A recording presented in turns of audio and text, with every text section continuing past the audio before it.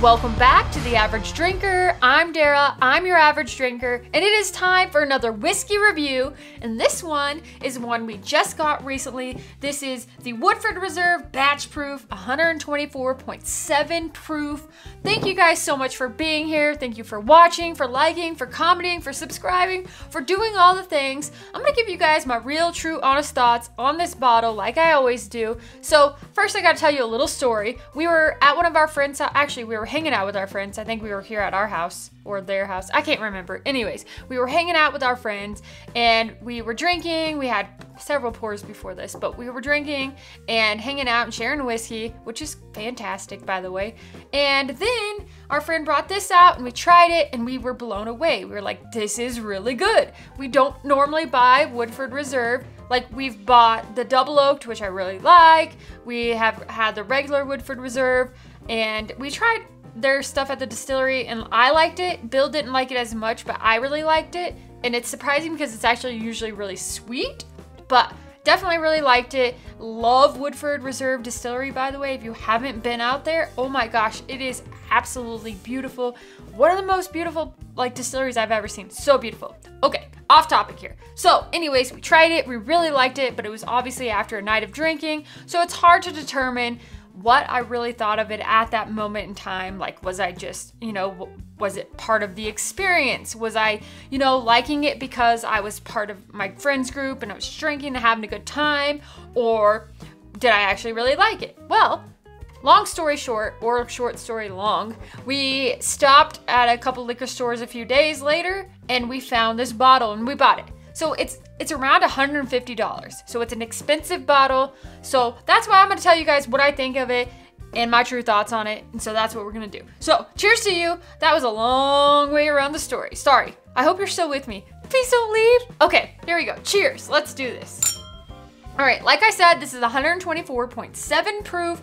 Woodford batch proof. This is the one that just came out, so that's what I gotta say. Now, this is so dark. When you look at this, this is incredibly dark. Like, holy freaking moly. It's dark and it's super viscous. It sticks on the glass, barely even runs down the glass. Super thick. Reminds me of molasses on a glasses. Glass. Okay, let's smell it. On the nose, it smells like breakfast. It's, it smells like molasses and toffee, brown sugar, vanilla bean, bananas. Yeah, bananas Foster French toast. That's what it smells like. Like syrupy, thick banana syrupy deliciousness. Syrupy, thick banana deliciousness. That was a line. I'm on a roll. Anyhow, it smells fantastic. It smells very sweet, does not burn the nose hairs, kind of actually gives me Old Forester vibes, like the really banana Old Forester vibes. Not the Laffy Taffy kind of banana, the breakfast fresh ripe banana that's dipped in syrup and it's on your French toast. A little bit of cinnamon sprinkled on there, maybe some toffee drizzle. Now that sounds pretty good. It smells like that. It smells like that. Even lightly nutty, like toasted pecans. Yep, smells good. All right, let's taste it.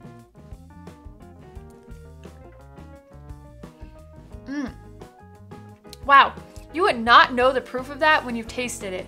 Like, it drinks way lower than the actual proof, at least in my opinion.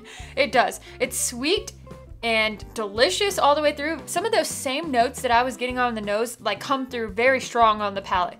The Banana Foster's French toast, like butter even. There's some butter in there. This is breakfast in a glass. Toffee, like really dark, sweet notes, even some oak.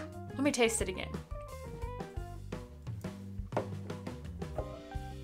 It's rich, it's very rich.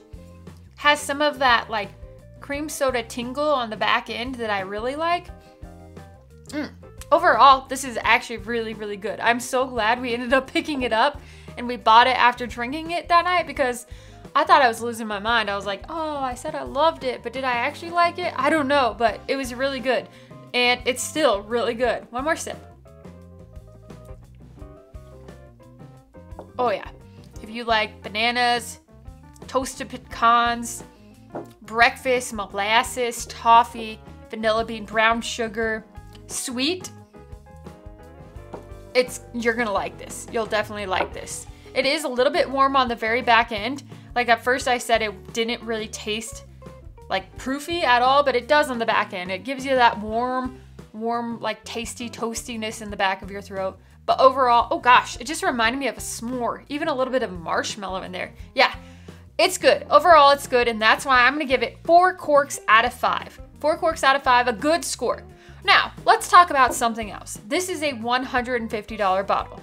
You guys know at this point, when you watch my videos, that price does not go into my score. I just score it based on nose, palate, and finish, and that's what you get. You get the score of what is inside the bottle.